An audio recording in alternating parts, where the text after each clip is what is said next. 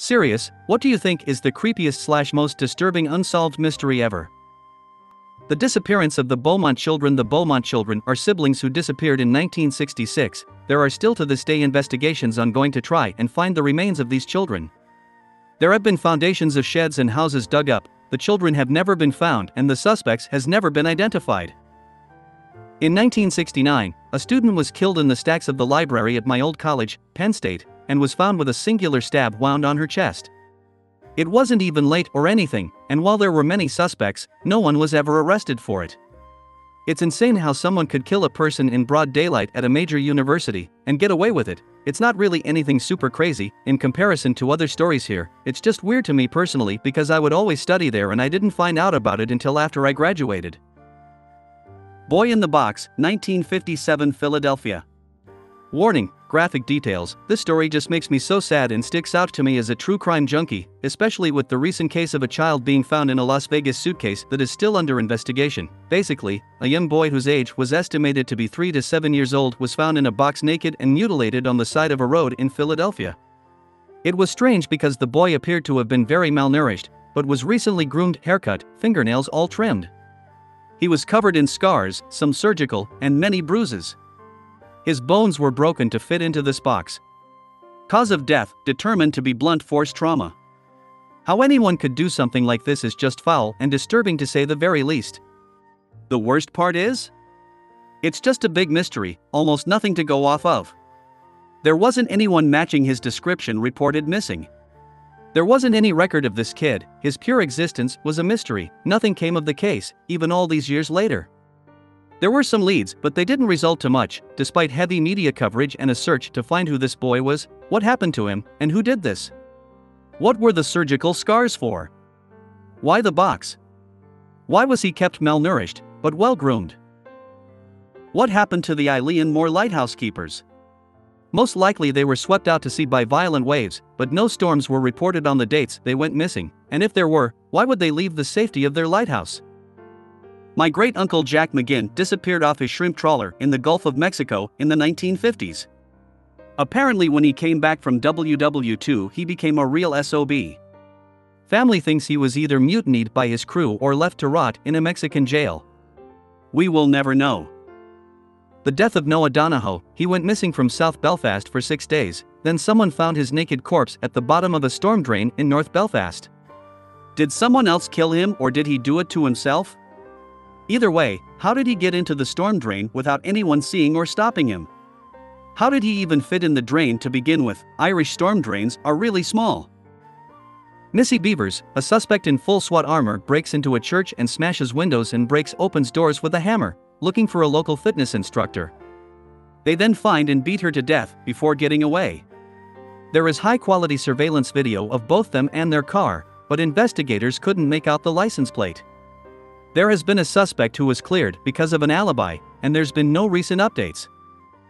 Brianna Maitland, car backed into abandoned house is one of the eeriest things I've ever seen. Branson Perry, jumper cables returned after he disappeared. Christopher Vigil, how did he disappear on a relatively busy trail? Zeb Quinn, puppy inside the car. Donald Duggar, reported people outside his truck before disappearing. I'd take the answers to all of these. Or any of them. Timothy Pitzen. A kid who was taken from school by his mother and went missing after his mother killed herself in response to her rocky marriage. Pretty sad considering that the father still believes he's out there, but I'm betting he's dead, lived close to where it happened. The murder of Robert Wone is something I think about often. He was with friends, just staying the night, and what happened to him sounds brutal. Even more disturbing to me is the fact that everyone who was in that house that evening seemingly have a pact of silence and are walking around free as a bird. LaVena Johnson murder, covered up by the most powerful military in world. In one of their most controversial wars, evidence of rap and battery with a gunshot wound to the back of the head. Labeled a suicide. And the media never covered it. One that is so bizarre that it is disturbing is the Yuba County 5. I know the men had mental disabilities, but how they ended up in the situation they did is just chilling to think about. Also, the West Memphis 3, Robin Hood Hills, murders, finally, the femicides around Juarez, Mexico. In terms of recent ones, Stephen Paddock's completely unknown motive. The Marilyn Monroe case. Former child actor Joe Pichler, Varsity Blues, Beethoven's 3RD/4TH, went missing from his hometown of Bremerton, Washington in January of 2006. His car was found abandoned behind a Mexican restaurant, but no trace of him has ever been found. I am an avid unresolved mysteries reader, and I don't know why it has stuck with my, but Carly Guza. 16 year old girl called her stepmother to pick her up from a party, reportedly was too scared to sleep because she thought someone would kill her, and the next day she disappeared. There was some weird interviews and dynamics between step parents and birth parents, and a bunch of theories abound. The burnt body found in the Norwegian fjords, believed to belong to a female spy, lots of evidence and trails in Bergen, but she was never identified. The Tamam Shud case, so weird. An entire cheesecake went missing from my apartment a couple months back. I live alone and have no friends. Still haunts my dreams. The disappearance of Jodi Huisentruit personally for me. My childhood best friend's father was shot in the back of his head execution style while his wife and grandchild were home. Kid found his body, other than that. UFOs. Summer Wells. I see you, Mr. Ballen slash Wendigoon slash Lazy Masquerade slash Paranormal Scholar. Love how you can just tell who the BuzzFeed Unsolved fans here are. After death. Is there life after death or just pure emptiness? Just blackness. The whole MH370 case of the missing plane. It's a wonder how an entire plane is lost in this age and still not found anywhere. West Mesa Bone Collector, Albuquerque, New Mexico. So many women's bodies, and the cops have stopped looking for the culprit. They are seriously like, yeah, we think it might have been this guy and he's dead now, so. Starbucks? The Yuba County 5. Makes no sense. Asha Degree, who has been missing for 22 years. The disappearance of Lars Mittank, and the disappearance of Brandon Swanson. Why are we here? What are we here for? Fiscal Nisman of Argentina, Fiscal Danilo Anderson, Venezuela. Mr. Cruel. Elizabeth Barraza murder. She was murdered in her driveway in the early morning by a person looked to be disguised as a woman. Grainy security footage and no answers. The flight of Malaysia Airlines MH370. Either someone on Earth knows exactly what happened to the plane, or no one knows what happened. Both are equally disturbing. The uncanny valley implies that at some point there was an evolutionary reason to fear something that looked human but wasn't. Really odd. If Prince Andrew the Royal nonce can't sweat. There is some group of five dudes who went missing in the 70s. They were mentally disabled a bit and they only found four of them, but why they disappeared and where they were found makes no sense. It was on the Stuff You Should Know podcast. Blows the mind. Black Dahlia. Where is Jodi Huisentruit? She disappeared at least 30 years ago. Clues are scarce, but someone knows something. The Phoenix Lights. I can't imagine how so many people witness to this without a decent explanation. Sudden combustion still scares me. The Sodder children. There was a house fire and the children apparently never made it out. The ladder that the dad kept on the side of the house was missing, so he couldn't save the kids. However, no remains were ever found in the rubble. Multiple children just disappeared without a trace after the fire. No clues as to what happened to them. Consciousness and death. The lost colony of Roanoke. Always fascinated me as a kid. My friends and I would gather on the playground and have these secrets club meetings where we would try to solve mysteries. The main one was Roanoke. Friend of mine went missing while hiking in New South Wales, Australia. Epstein and Maxwell's client list. Jessica Chambers.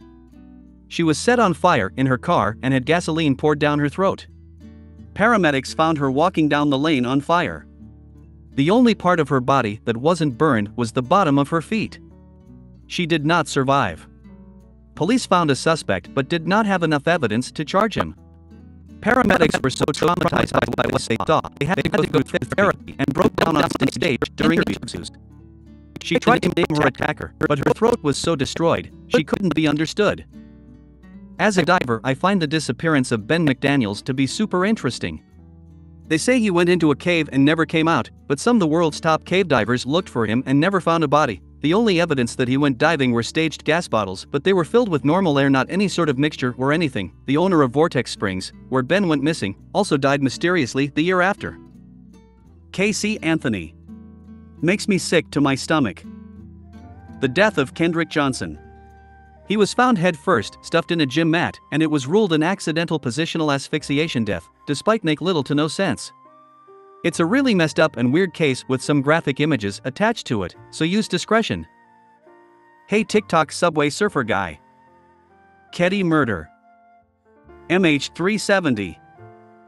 The McDonald's Boys incident that happened in Singapore. Elodia Ghinescu, that story gives me chills, it remained unsolved because they could never find the body but they found the murderer, Christian Sioaca. It's a pretty old case here in Romania. I also live in Romania, so that gives me more nightmares. Why was Ghislaine Maxwell the only person to be charged in an international child trafficking scandal involving the richest slash most powerful men in the world? The disappearance of Lars Mittank. A German man who went on vacation in Bulgaria in 2014. He was last seen at the airport where he was brought into a private room by airport security after his mother had called telling them her son was behaving strangely, saying there were people after him over the phone the night before. A few minutes later, he's seen bolting, and I mean full on sprinting out of the room without his luggage. He ran out of airport, scaled the huge fences around the perimeter and was never seen again. Hundreds of witnesses, CCTV footage and a police presence and the man still basically disappeared off the face of the earth in broad daylight. Flight MH370 what happened to it? The thousands of people who disappear in our national parks without a trace. Google David Paulides. JonBenét Ramsey's murder. I'm sure her family has something to do with it. No one knows how eels reproduce.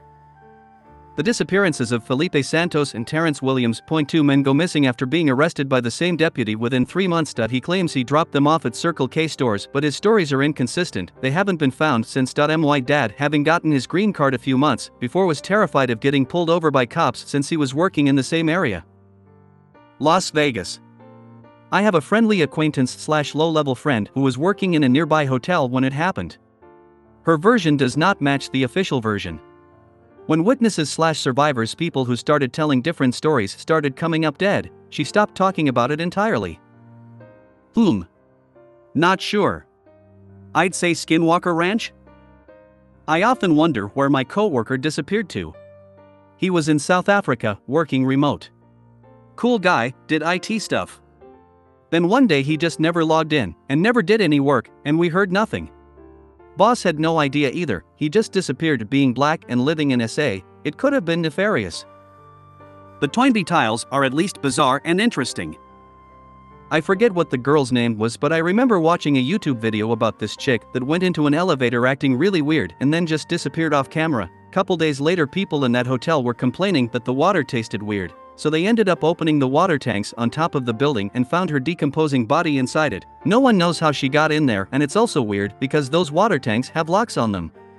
This one really stuck with me because of just how they couldn't find any information on how or why it happened. The death of Kenneka Jenkins. What happened to Malaysia Airlines Flight 370? That one haunts me. How does a plane like that vanish without a trace?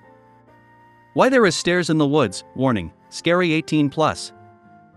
The Tylenol murders. The Juarez murders. Who put Bella in the witch elm? 1991 Austin yogurt shop killings. The boy in the box.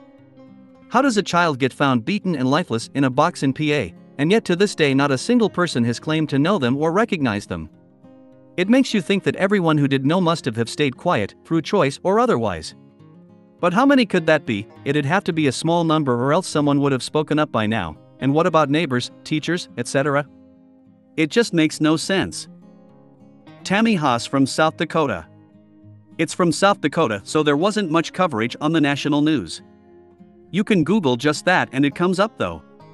I have theories, but a corrupt police department and a boyfriend who washed his car inside and out the night she was murdered made it hard for this case to get solved. The S asterisk asterisk asterisk Walker Ranch, I like details, but it is a very easy search, sorry, also saying their name is taboo. The Kyron Horman case. He went missing in 2010 and hasn't been found since. From what I understand, it was most likely his stepmom who might have killed him, if not, trafficked him or did who knows what to the poor kid. Today is the 12 year anniversary of his disappearance. Asha Degree. For modern times, I am going to go with missing flight MH370, it's a total what the frick. The Beaumont Children. Brandon Lawson was always a weird one to me, although I read they finally found him. Not sure if any explanation for the 911 call exists though. African politics. What happens when you die? Vincent van Gogh's death. I definitely do not believe the suicide theory, even if he was messed up. The gunshot wound was in too odd of a spot for him to have shot himself. I'm now too terrified to go to sleep. Natalee Holloway, disappointed face. What was before the Big Bang?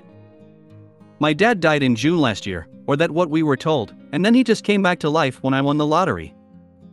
Epstein, we as a society need to find out who are his customers. Where the other sock went. The missing 411 cases where the kids who were found alive say their friend helped them and then describe a kid who died years earlier with a similar slash the same name. One case that baffles and fascinates me is that of the Eriksson sisters. They are said to have suffered from a shared psychosis known as folie à deux. But what the heck is that and what caused it? They're the 40 year old twin sisters from Sweden who became front page news in the UK in 2008 when they repeatedly ran into traffic on the M6 motorway. A day or two later, one of them, Sabina, stabbed a man to death in his home for no apparent reason. She fled the house, striking herself on the head with a hammer as she ran to a highway bridge. She jumped off, falling 12m and landing on a highway. She survived, with several fractures. I've heard the audio from a TV news crew who happened to capture part of the M6 incident and just can't forget one of them yelling at her sister about how they'll steal your organs. Whatever happened to them was intense, sudden, and largely unprecedented. The Boston College Tickler would break into off campus apartments and tickle people until they woke up and then flee. HIW Keith Richards outlives everyone on the planet. Mr. Ballen has some good ones. Check out his subreddit and YouTube channel if you haven't already. R slash MrBallen. The story of the lost colony of Roanoke. Zodiac's homicides. Mr. Cruel Australia, just the police sketch of him is enough for hashtag Nosleep Mr. Cruel Australia. In Belgium, a nuclear reactor was sabotaged a few years back. No harm done in the end, but they never found out who did it. The idea alone of what could have ended up happening is still sending chills down my spine. The Girl Scout camp murders. That shared psychosis case with the twins, Ursula and Sabina Eriksson, who very suddenly ran into traffic on the M6, multiple times even after getting hit and receiving aid, caused absolute chaos, and one later stabbed and killed a man. Video here. Murder of Blair Adams, he was from Canada and kept telling his mother that someone was after him. She thought he was going crazy and he disappeared. Sometime after he was found in Knoxville, Tennessee, murdered, he had checked into a hotel in Knoxville and there's video footage of him doing so. There are more details that I may be missing, but it's always one that I just thought was really weird. Hands down Flannan Isles Lighthouse. Where is Miss Cabbage's wife? It's honestly terrifying that MH370 just completely disappeared. A fight filled with people, and we just have no idea where it went or what happened to it. The boy in the box, basically in boy they couldn't identify, was found in a box, beaten and bruised, in the woods dead. Look it up for more details, but it's terrifying. Malaysia Airlines Flight 370 How, in this day and age, does a modern widebody airliner just disappear without a trace? I scrolled for a while and didn't see this one, the Springfield 3. This case lives in my mind rent free. How does a mother and two girls disappear without a trace from their home, Springfield 3? Chick in the water silo on top of that hotel. The tragedy of Darth Plagueis the Wise. Kris Kremers and Lisanne Froon. I watched a YouTube vid showing photos they took after they had got lost or something in the jungle hiking. Pretty sure they were never found, but the camera and other bits were found, and you can see strange photos they had been taking in the dark lost. Malaysia Airlines Flight 370. A plane on a routine flight with 239 people on board went missing mid flight, and to this day we have no idea what happened. Only a bit of wreckage has been found. Philadelphia Experiment Who took a bite out of my sandwich while I was sleeping last night? The boy in the box slash America's unknown child. I'm late to the party, but my personal favorite is Maura Murray. The Roanoke colony, I think. Epstein's Island, like what really happened. Not super disturbing, but I would go with the disappearance of the USS Cyclops. Malaysian Airlines Flight 370. Somerton Man is a personal favorite. Who has the missing $2.3 trillion that Rumsfeld announced to the USA on September 10, 2001? Something happened the following day to sweep that under the rug. Just a coincidence, I'm sure. The Johnny Gosch case. It's crazy because it was supposedly linked to an enormous pedophile ring, and his mother is certain he came to see her as an adult. The guy that spontaneously combusted from within his body and found on that armchair. All of the people that go missing in national parks without a trace. Jimmy. Hoffa. Timothy Pitzen. So many unanswered questions. Did his mom kill him? Did she really leave him somewhere safe? Why did she kill herself? The Tamam Shud case, dead man in a suit, shows up on Australian beach. No one can figure out the cause of death. No one can figure out who he even is. His pocket contained a note that reads Tamam Shud is finished, torn from a copy of the Rubaiyat. The exact copy was found and it contained a strange code that remains uncracked to this day, as well as a phone number that lead to a woman who claimed to have no idea who the man is or why her phone number was left on a Persian poetry collection with a missing page found in some completely unknowable corpse's pants pocket. It all reads like a sci-fi thriller's plot. There's tons of other details and they're all equally perplexing and bizarre.